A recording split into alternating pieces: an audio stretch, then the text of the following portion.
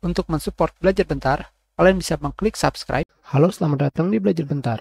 Sekarang kita akan belajar bagaimana cara melihat versi CUDA pada GPU atau VGA NVIDIA dan cara mengupdate-nya. CUDA digunakan untuk komputasi pada video atau foto editor.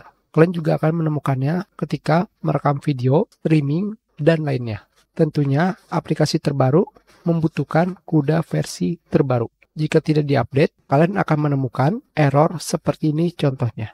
Yaitu, kalian tidak bisa menggunakan fitur hardware accelerate pada aplikasi yang kalian gunakan. Di sini terdapat keterangan bahwa versi sekarang dari driver NVIDIA grafis kalian tidak mendukung CUDA versi 9.2. Tentunya untuk mengupdate CUDA menjadi versi terbaru sangatlah mudah.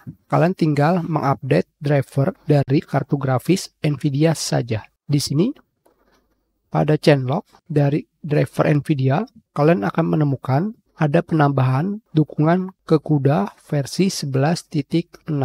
Sedangkan jika kalian menggunakan kartu grafis GPU atau VGA NVIDIA, kalian bisa melihat apakah VGA atau GPU kalian mendukung CUDA atau tidak dengan menggunakan aplikasi GPU-Z. Di sini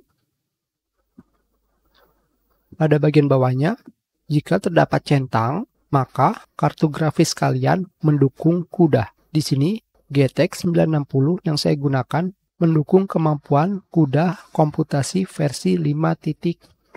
Dan selanjutnya, untuk melihat versi CUDA pada driver yang sedang kalian gunakan, kalian bisa pergi ke NVIDIA Control Panel. Kalian bisa langsung pergi ke System Information di sini. Kalian pilih komponen di sini.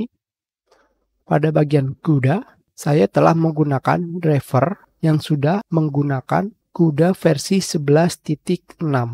Hanya seperti itu saja cara melihat versi CUDA pada GPU atau VGA NVIDIA dan cara mengupdate-nya. Kita sudahi pelajaran kita. Terima kasih.